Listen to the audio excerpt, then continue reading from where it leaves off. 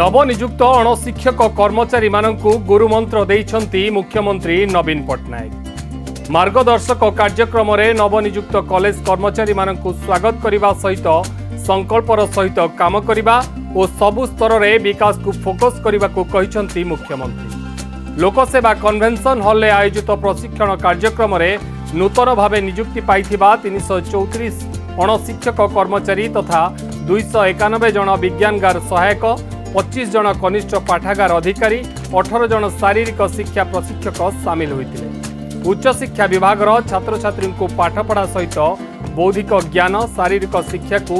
সমান্তরাল করা ও সরকারি এবং অনুদানপ্রাপ্ত মহাবিদ্যালয়ের ভিত্তিভূমি সুদৃঢ় করা রাজ্য সরকার পক্ষর এই পদক্ষেপ নিয়েছে